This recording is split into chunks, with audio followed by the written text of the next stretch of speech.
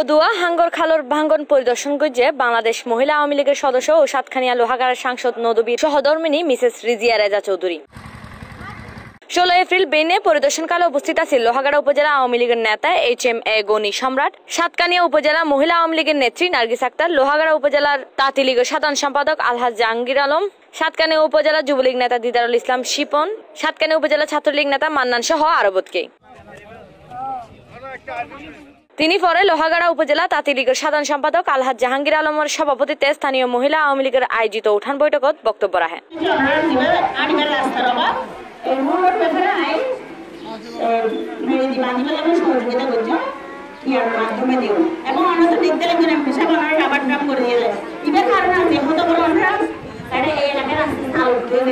মন্দিরের ব্যাপারে দিয়ে মাথা দাদা যারা আছে তারা ডেক্স নিউজ সি প্লাস টিভি এই যে দেখো কেওয়াই এর মুরগি মার্কা ঢেউটিন দিয়া বানানো আমার ঘর। কেওয়াই এর মুরগি মার্কা ঢেউটিন লাগাইলেই হিট